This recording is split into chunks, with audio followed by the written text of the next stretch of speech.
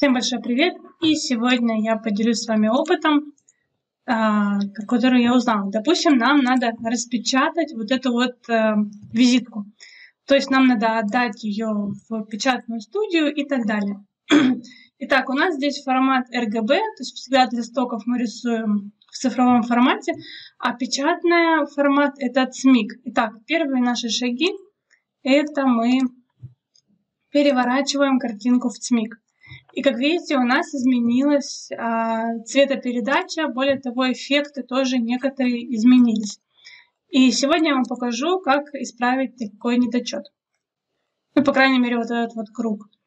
Итак, у нас тут просто осветление основы, черное в конце по RGB, и сверху, посередине у нас было свечение. Так, нажимаю Alt, то есть просто его копирую, Убираю полностью любой эффект. В центре ставлю а, белым, полностью белым. С краю так и остается полностью черным. Теперь э, выделяем два, две эти сферы, группируем и создаем маску. Нажимаем обрезка. Как видите, у нас исчезли края, и у нас получилось такое вот свечение. Его можно редактировать, то есть выбираем первый верхний слой там, убираем, либо добавляем. Также можно редактировать нижний слой, тоже убрав.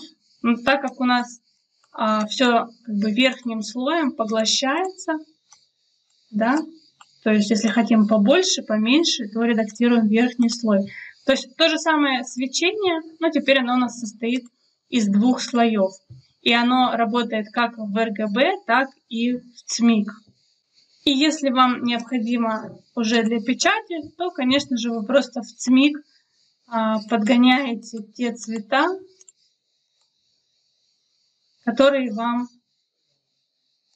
необходимы. То есть всегда, в принципе, осветление основы – это самый такой эффект, который в цмик не очень хорошо работает, поэтому а, именно вот таким образом делается свечение.